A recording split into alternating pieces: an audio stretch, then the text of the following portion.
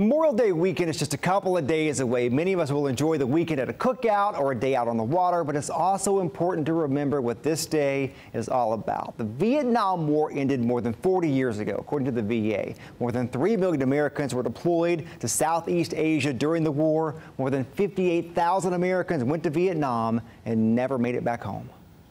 Joanne Shirley and her brother Bobby grew up in Macon, Georgia. I only had one brother. He was two years older than me. We were, had a very close relationship. Bobby went to college, then to medical school. In September of 1972, he joined the Air Force. A few months later, he was sent to Vietnam. It was raging, and he said, you know, if I don't go ahead and do it, they're going to draft me out of my residency, and then, you know, I'd have to start all over again. But Major Bobby Marvin Jones never made it back home. He was on a flight to Da Nang, and they had to clear a mountain before making their landing. There's no justification about what happened to him.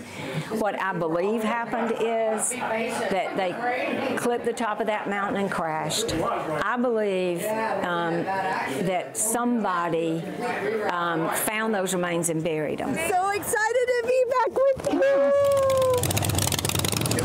I lunch all laid out. Okay. All you got to do is fix your plate, stuff it down. It was the loss of a close member of her family that led her to this family. MIA family members often feel isolated, that the only people that really understand are other MIA family members. Carity Forster's father was also killed in Vietnam. She has no idea what happened to him. No resolution at all, no. Carity and Joanne met while working with the National League of POW MIA families, and now Carity spends every Memorial Day as a part of Run for the Wall. When I first uh, participated and saw that there's all these people that still care, I was blown away. This is a group of veterans, families, and anyone who wants to ride. They travel across the country to Washington, D.C. to honor veterans and service members.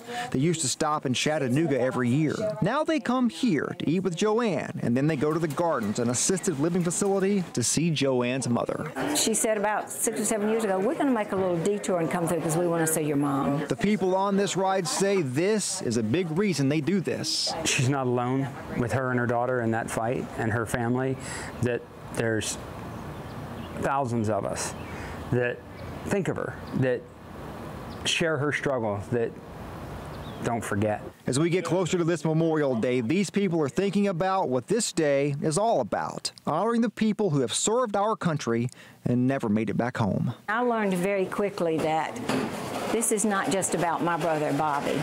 It's about all our guys that are missing, and it's about all our servicemen today, that we have an obligation to never leave them behind.